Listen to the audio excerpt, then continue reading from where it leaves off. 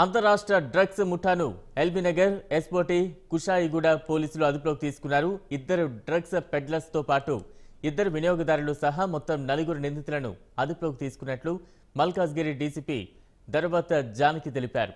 వారి వద్ద నుంచి యాభై గ్రాముల ఎండిఎంఏ పది ఎక్టేసి పిల్స్ ఒక మోటార్ సైకిల్ నాలుగు మొబైల్ ఫోన్లను స్వాధీనం చేసుకున్నారు. మార్కెట్లో వీటి విలువ ఇరవై ఐదు లక్షల వరకు ఉంటుందని తెలిపారు.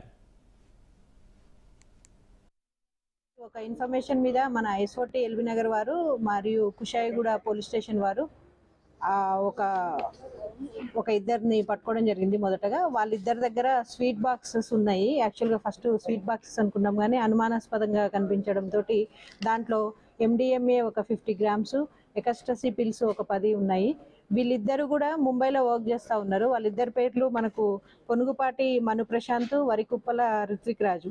వీళ్ళిద్దరు కూడా చాలా కాలం నుంచి ముంబైలో వర్క్ చేస్తూ డ్రగ్స్కి అలవాటు పడి ఉన్నారు.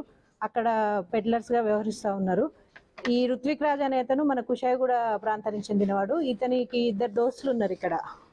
షేక్ ఉమర్ ఫరూక్ మరియు ఆనంద్ మాతే. వీళ్ళు కూడా డ్రగ్స్కి అలవాటై ఉన్నారు.